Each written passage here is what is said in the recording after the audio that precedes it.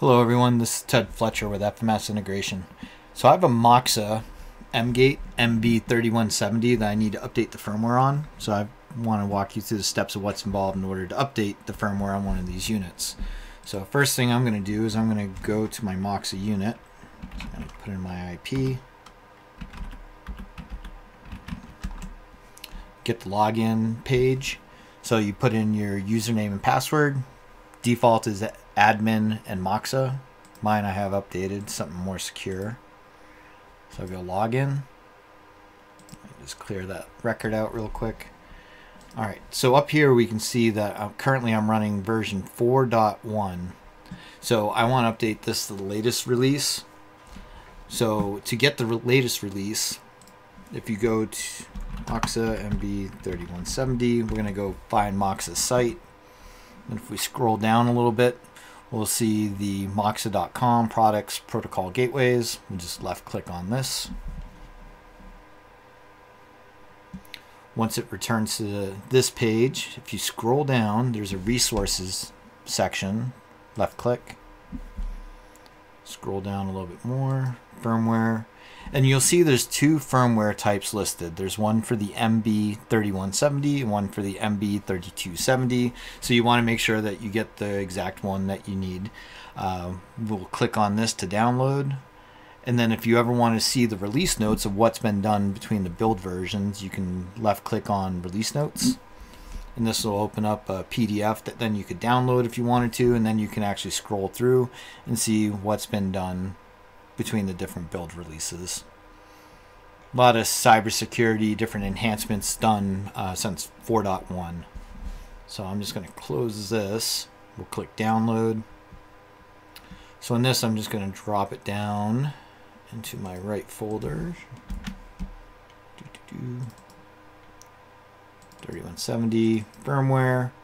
I have a copy of it there, but you can kind of see the process. So now we have that downloaded. Once you have the file downloaded, then you just go back to your Moxa.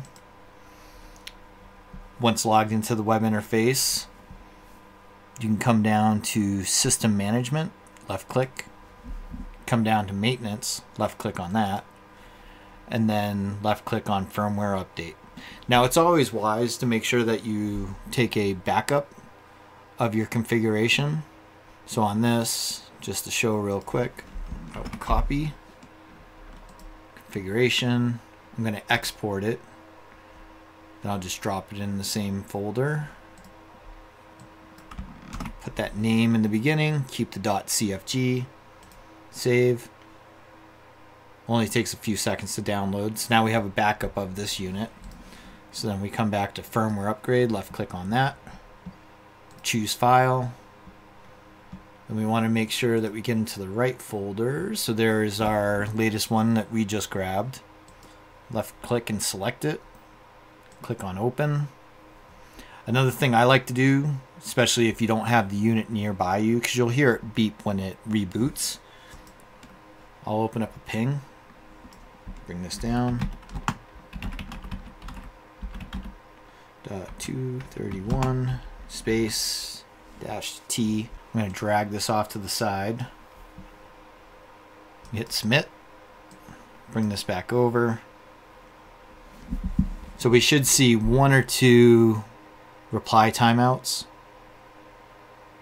And sometimes it might time out real quick on you once, get a couple replies, then it times out again.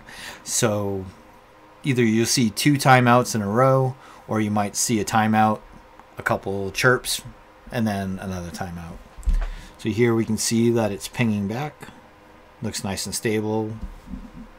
Just going to move this off to the side. So here we should just be able to click on home.